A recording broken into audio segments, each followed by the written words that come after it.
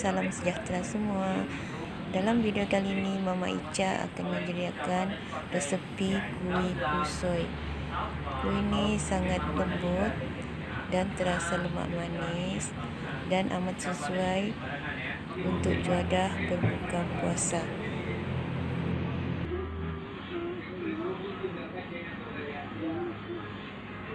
Okey, mula-mula kita sediakan dahulu bahan-bahannya iaitu dua cawan tepung gandum, setengah cawan tepung ubi kayu, lima cawan air, satu cawan gula pasir, satu cawan gula merah, sedikit esen pandan,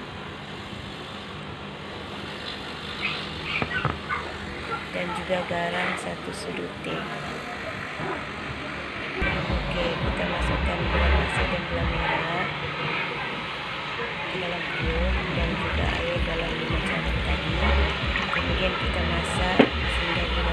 hancur dan kita ketepikan dahulu.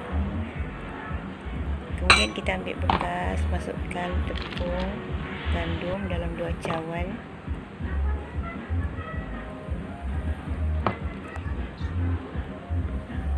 tepung ubi kayu setengah cawan ataupun gelas yang macam saya gunakan tu masukkan garam satu sudut teh.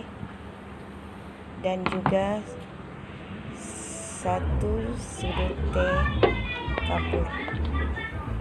Okey, gula kita dah hancur. Kita tapis dahulu. Kemudian kita sejukkan ataupun air gula yang dah sejuk ataupun suam kita tuangkan ke dalam adunan tepung tadi. Kemudian kita masukkan sedikit esen pandan dalam satu penutup botol. Lepas tu kita kacau sampai rata. Dan kita sediakan loyang. Dan kita sabukan sedikit minyak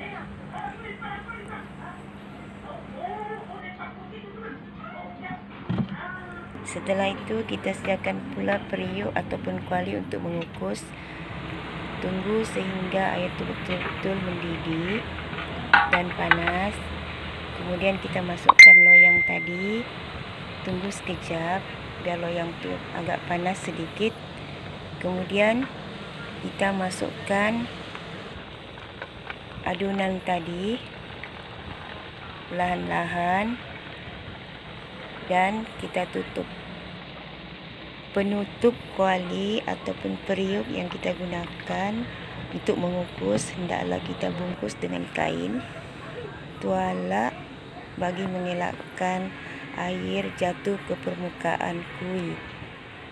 Selepas 20 minit, kuih pun dah masak. Kita angkat dan sejukkan terlebih dahulu sebelum dihidang. Okey, ini kuih yang telah kita potong setelah sejuk tadi. Kita potong kecil-kecil, kemudian kita gaul dengan kelapa parut. Okey, kita tengok memang sangat sedap. Dan kuih ini terasa lemak manis dia dan amat sesuai untuk juada berbuka puasa ataupun minum petang. Okey, sampai di sini saja videonya.